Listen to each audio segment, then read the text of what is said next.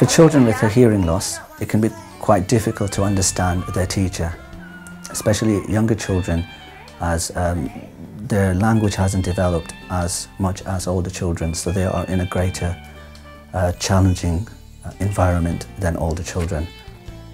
Other challenges to children using hearing aids are distance and background noise. One specific challenge that affects children using hearing aids more than other children uh, is reverberation. All these challenges can be overcome when using an FM system because the FM system picks up the teacher's sound directly and sends it to the FM receiver that's linked to the hearing aid of the child. So in effect, the child is actually hearing the sound of the teacher directly in his hearing aid. Situations where an FM system would be beneficial in, in the nursery setting uh, would be when the child uh, is playing outdoors in nursery, uh, when the teacher is uh, talking directly to the child, for example, story time, uh, when, when there's play activities, sing-along time, also when the child is at a distance from the teacher. Preschool teachers have noted that the benefits of using an FM system was facilitated communication for both them and the child. They also noted that the child participated more in activities, most especially verbal activities. The child was much more attentive and the child seemed to localise much quicker uh, to the source of the sound, i.e. the teacher that was speaking through the FM. Around the 20, I've never used one before, so like I've used one for, for the last three months with Noah. Uh, I find it useful, the radio word, with him. We usually try and use it as much as we can in the quiet corner, obviously we're like in small groups. Uh, just so then we know that he can, he's got that that one-to-one -one as well as the group, so they can hear um, questions, uh, answers quite clearly just for himself. Uh, outdoor play we try and use it there obviously with it being a big area we want him to be able to hear us and properly and get clear instructions like say if he's climbing up the slide we want to make sure he's safe as he's doing that. Um, sometimes we will use it like at meal times but we find that at meal times he will listen anyway because like he's sat down it's quite quiet. Um, sleep times we don't need to use it obviously because he's going to sleep. Um, other times Probably in the library area as well when we go outside of the room. We have like a library area, we try and use it in there as well. And then just like any small group activity really. It definitely makes a difference because usually you just think, you just feel to yourself that in a way like he's ignoring you but he's not obviously. You know that he just can't hear because obviously with the noise of the other children as well. Sometimes he does struggle to hear so we do find it very useful in this way. That's why we try and use it as much as we can and obviously we know he's benefiting from it.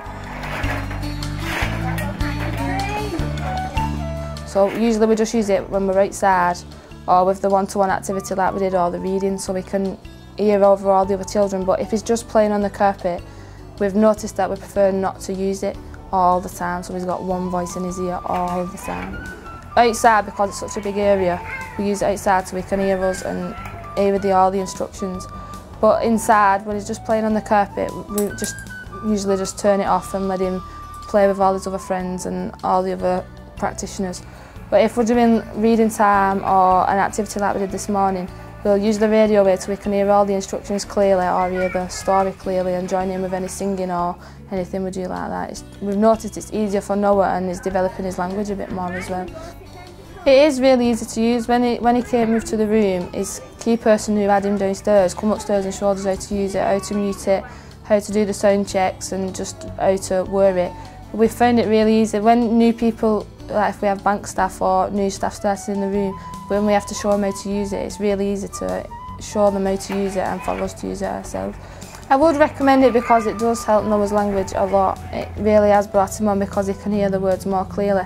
So I would recommend him to use it and I would tell him that it's really easy to use and really good for the child's development and I would really promote it to them because I've noticed while Noah's been upstairs that From when he first started, he used to make noises to us instead of talking to us or shouting at it. Used to just get a noise or a grunt. But now, over the last like nine months since he's been upstairs, he started talking to us, shouting our names, describing things he could see and all sorts like that. So it really does help the child's development.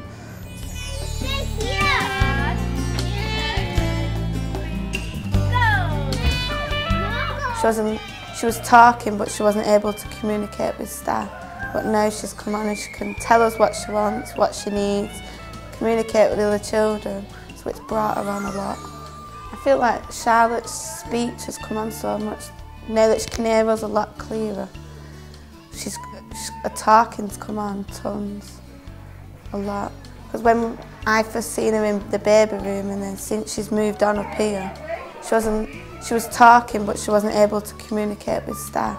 But now she's come on and she can tell us what she wants, what she needs, communicate with the other children, so it's brought her on a lot. I think she's more confident in herself now that she's able to communicate and tell her friends what she wants to do, so it's brought her on a lot. I think it's really easy to use. It's not difficult. We've had the support of Charlotte's mum and a teacher to show us how to use it and we've all found it really easy to use and rewarding.